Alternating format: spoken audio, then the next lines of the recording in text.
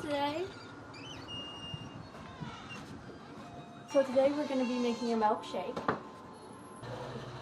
So here's how I make my uh, chocolate milkshake.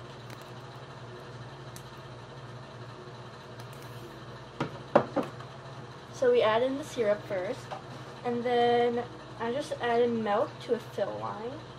If you want to see there, milk.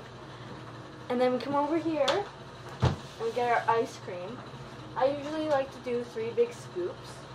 And sometimes if I'm generous, maybe four. and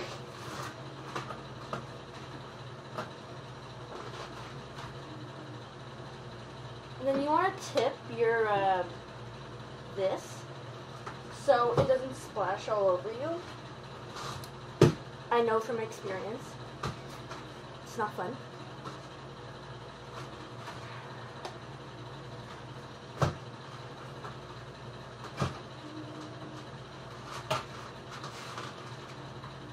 And you know what? Just for you, let's add another half scoop. And there's our base. So, here's the fun part now. We blend it.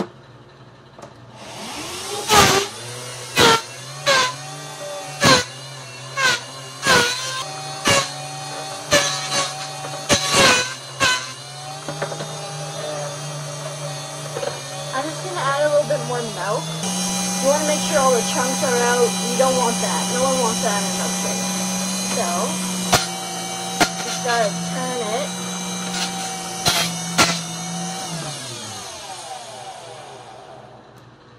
And it's okay if it gets a little splattery. You can clean it up later.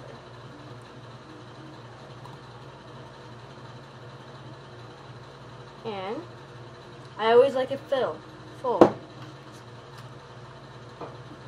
So, after all that, you put in the straw, and here's your chocolate milkshake, made by me. Enjoy it. Have a good day.